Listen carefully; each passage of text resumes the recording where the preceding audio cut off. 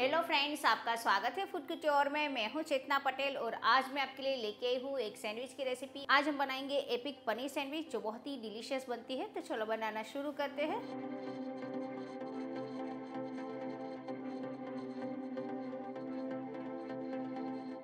Paneer sandwich बनाने के लिए सबसे पहले हमें एक गाढ़ी ग्रीन चटनी बनाना है। तो सबसे पहले हम ग्रीन चटनी बनाएँगे।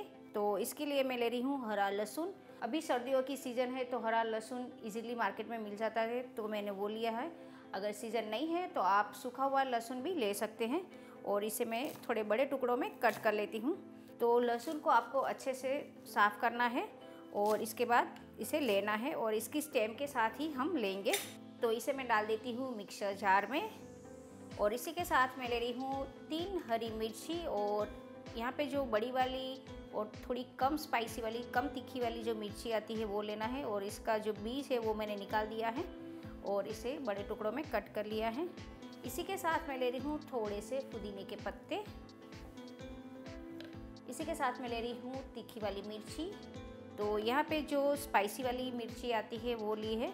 ये मैंने 15 से 17 पीस लिए हैं। इसी के साथ मैं ले रही हूँ दो अदरक के टुकड़े। डेढ़ टेबल स्पून मैंने लिया है रोस्टेड चना। एक टीस्पून रोस्टेड जीरा। यहाँ पे मैं ले रही हूँ काला नमक, आधा टेबल स्पून बेसन की सेव ले रही हूँ वन फोर्थ कप और इसी के साथ हम लेंगे फ्रेश धनिया। तो यहाँ पे मैं डेढ़ कप धनिया ले रही हूँ। तो इसे भी हम मिक्सर जार में डाल देंगे। इसी के साथ इसमें एक नींबू का रस डाल देते हैं। तो यहाँ पे मैं वन फोर्थ कप जितना आइस वाटर डाल रही हूँ। इससे क्या होगा, हमारी जो चटनी है वो एकदम हरे रंग की बनेगी और इसे हम बंद कर लेते हैं। अब हम इसे ग्राइंड कर लेते हैं। तो ग्रीन चटनी हमारी रेडी है। मैं आपको दिखा देती हूँ। तो आप देख सकते हैं, एकदम गाढ़ी और चटपटी हमारी चटनी रेडी है। इसे बॉल में निकाल देते हैं।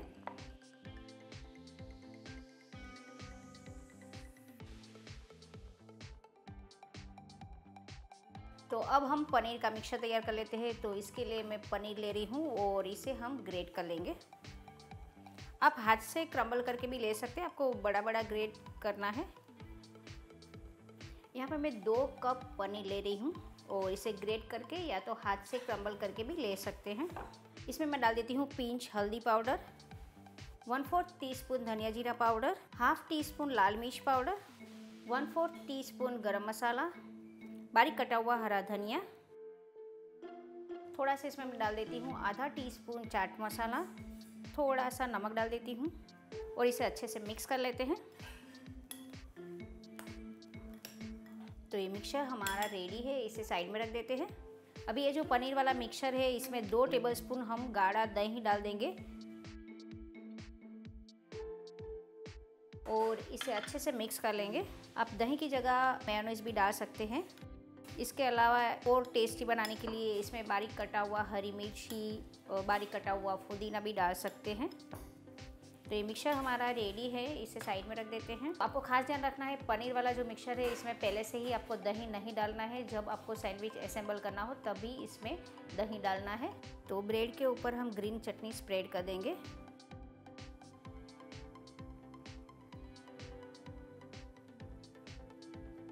तो ऐसे ही हम दूसरी स्लाइस के ऊपर भी लगा देंगे। इसके ऊपर हम पनीर वाला मिक्सचर रख देंगे। दो चम्मच भर के हम रख देंगे। इसके ऊपर हम अनियन की स्लाइस रखेंगे।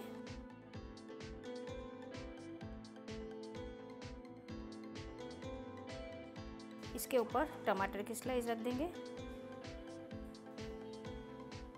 ककड़ी की स्लाइस। इसके ऊपर रख देंगे हम सैंडविच मसाला। अगेन इसके ऊपर हम कैप्सिकम रख देंगे। अगेन थोड़ा सा हम सैंडविच मसाला स्प्रिंकल कर देंगे। इसके ऊपर हम रख देंगे ग्रेटेड चीज़ इसके ऊपर हम दूसरा स्लाइस रख देंगे और हल्का सा इस तरह से प्रेस कर देंगे। तवे के ऊपर भी हम बटर लगा देंगे।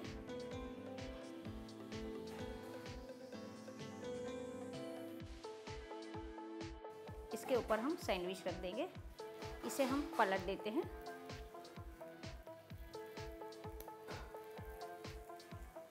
दूसरी साइड भी हम पलट लेते हैं। तो सैंडविच हमारी रेडी है। इसे चॉपिंग बोर्ड के ऊपर रख देते हैं। अब इसे हम कट कर लेते हैं। सैंडविच हमारी रेडी है। इसे सर्व कर लेते हैं। और इसके साथ मैंने सर्व किया है ग्रीन चटनी और tomato ketchup.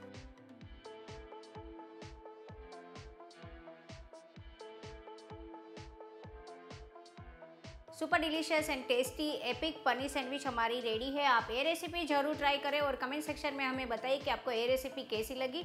हमें आपकी कमेंट्स का इंतज़ार रहेगा। हमारी और एक चैनल है फ़ूड किट्योर बाय जूनियर शेफ आप इसे भी लाइक करें शेयर करें और सब्सक्राइब करें। तो ऐसे ही ढेर सारी रेसिपी मैं आपके लिए लेके आती रहूँगी।